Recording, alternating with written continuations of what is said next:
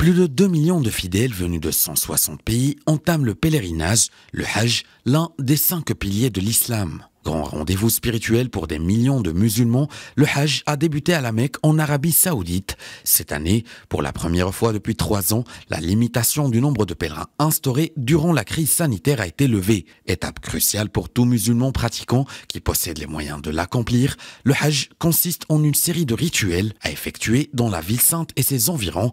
Ce lundi marque le jour de la Tarouya avant la station mardi sur le mont Arafat, étape phare du Hajj. Sur place, les pèlerins écouteront le serment de l'imam et y passeront toute la journée.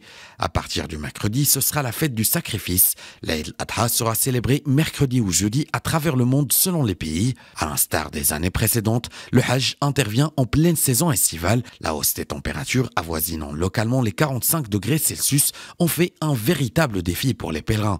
D'un coût de 5000 dollars par personne en moyenne selon le pays de départ, le pèlerinage rapportait chaque année avant la pandémie plusieurs milliards de dollars par an à l'Arabie saoudite.